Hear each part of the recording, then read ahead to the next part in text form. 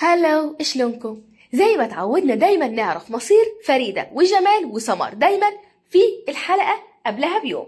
وتعالوا نشوف إيه اللي هيحصل في الحلقة رقم 48 من مسلسل حيرة. تابعوا لنهاية الفيديو لأن المفاجأة قوية جدا. هروب فريدة بعد ما بتعرف إن ست أمينة دي عايزة تبيعها لواحد راجل أعمال ومعاه فلوس.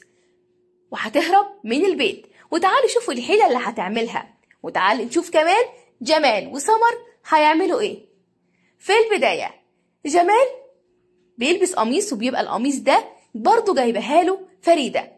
وساعتها بيلاقي فيه رسالة والرسالة دي رسالة حب من فريدة. كانت دايما متعودة تكتب له رسائل كده وتحطها له في القمصان بتاعتها اللي كانت دايما بتشتريها له.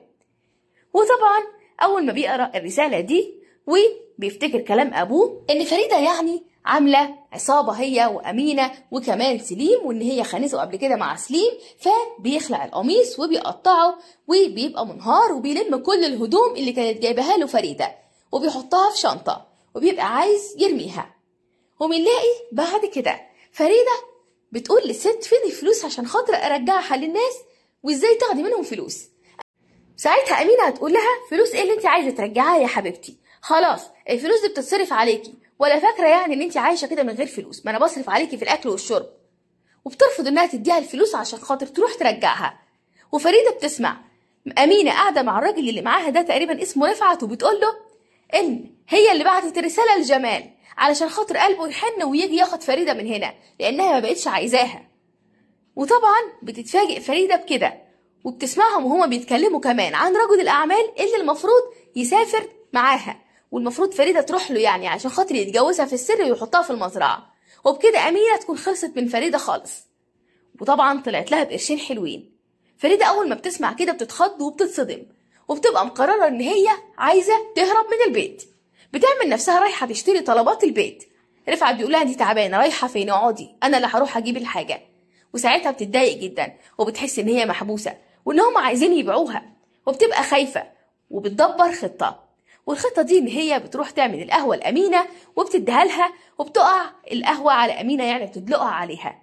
أمينة طبعا بتقوم بسرعة علشان تغسل نفسها وساعتها فريدة بتجري وبتاخد المفتاح بتاع الشقة وكمان بتاخد الفلوس وبتخرج على طول وبتقفل كمان من بره على أمينة.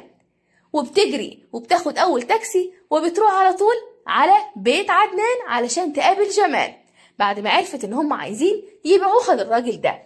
وكانت خايفة. وقفت التاكسي وراحت على البيت.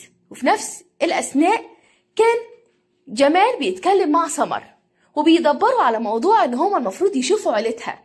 وسهيل في البداية راح وقال لسمر هتجيبي عيلتك منين بقى يا شاطرة؟ وريني بقى شطارتك ولا فاكرة علشان خاطر خلاص يعني إنك انتي لبستي الخاتم بقيتي منهم. اوعى تنسي عدنان ده اللي حرق أهلك.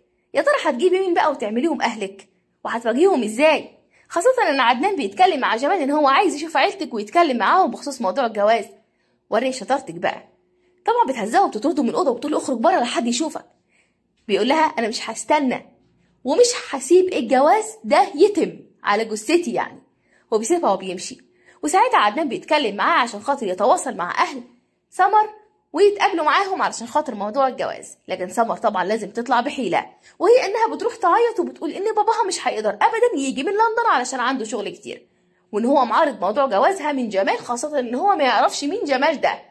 وإن هي طبعا بتبقى متضايقة وزعلانة لكن أمها هتحاول تقنع باباها. وطبعا بتداري على الموضوع كده عشان خاطر ما يجيبوش سيرة أهلها خالص بعد كده.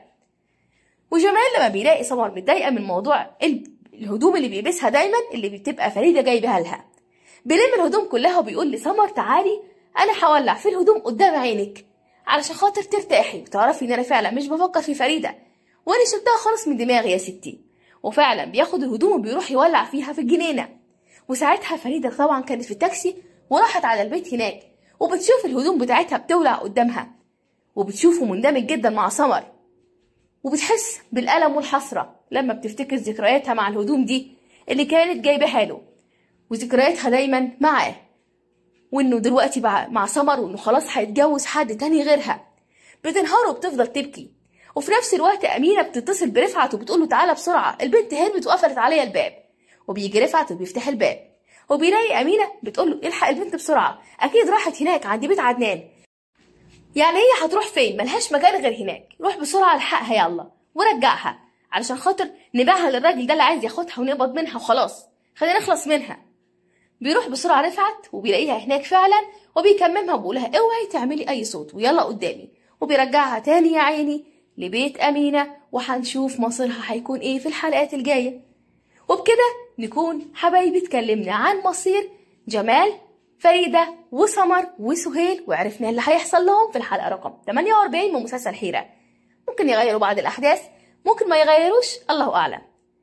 الفيديو بتاعي بيخلص يا رب يكون نال نال إعجابكم واستنوا باقي تسريبات المسلسل والمقاطع المميزة اللي فيه. أشوفكم على خير. باي باي.